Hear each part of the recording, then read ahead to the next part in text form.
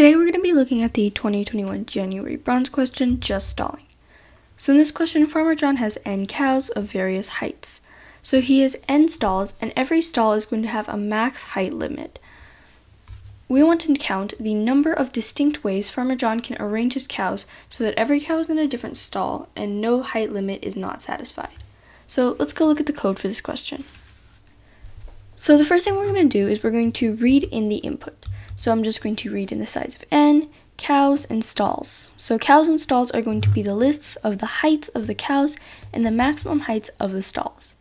And then the next thing I'm going to do is I'm just going to sort the cows and the stalls from largest to smallest.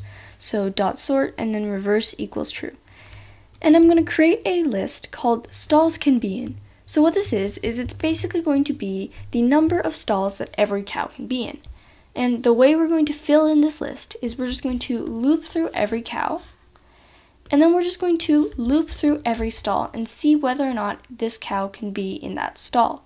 So we could optimize this by using a binary search instead, but for this specific purpose, we're just going to use a brute force. So I'm going to loop through every stall, and then for every stall, I'm just going to see if the maximum height of the stall is greater than or equal to the height of the cow we're just going to add one to our list. At the very end, we're going to find our answer using combinations. So we're going to check, we're going to have two variables, i and ans, and what they are is we are going to find that each stall has stall minus i choices for the cows that can go in that stall. So what we're going to do is we're just going to say for c in stalls can be in, the list from earlier, we're just going to multiply the value of answer by c minus i.